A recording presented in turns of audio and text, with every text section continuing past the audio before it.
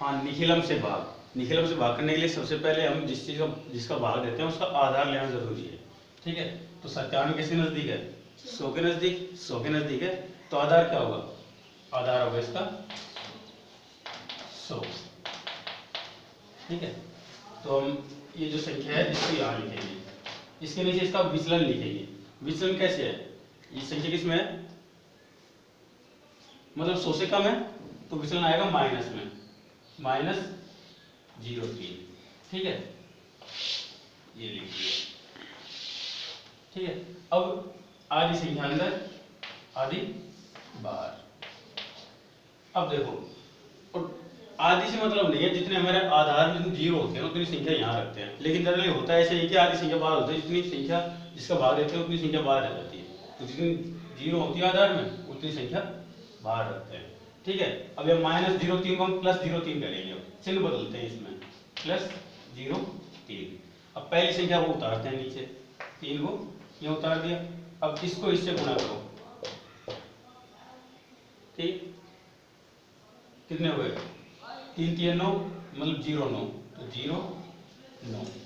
Plus का है इसलिए, अब नौ प्लस ज़ीरो नौ ही होंगे।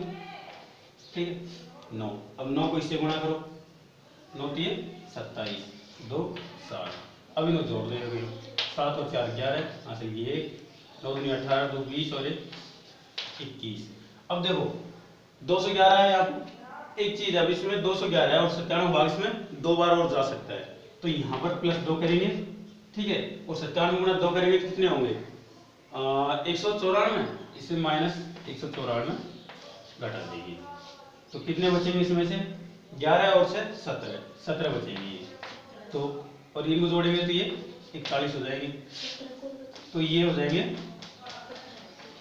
भागफल और ये होगा अपना शेषफल। देखो, ये कंडीशन कब लगाई जाती है? जब हमारा शेषफल, जो हमारा जिस, जिससे हम भाग दे रहे हैं, भाजक से बड़ा हो जाता है, तब हम ये कंडीशन लगाते हैं।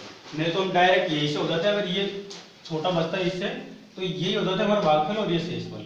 अब ऐसी कंडीशन देखो, दो बार भाग जा रहा है तो हमने दो कुछ जोड़ दिया, उनतालीस प्लस दो, कितने हो गए? इकतालीस। और दो सौ ग्यारह में से हमने मतलब इसको दो बार गुणा करके इसमें से घटा दिया, एक सौ चौरानवे। तो सत्रह बचते हैं, ठीक है? तो ये हो गया हमारा शेषफल ये निखिलम विधि से है। बिल्कुल इसी तरह से परावर्त से बस थोड़ा सा फ़र्क यहाँ पे ये आ जाता है कि ये जो चिन्ह है, ये ऊपर लग जाते हैं। जैसे विनकुलम चिन्ह होते हैं ना, उस तरह से चिन्ह लग जाता है परावर्ती योजित में। ठीक है?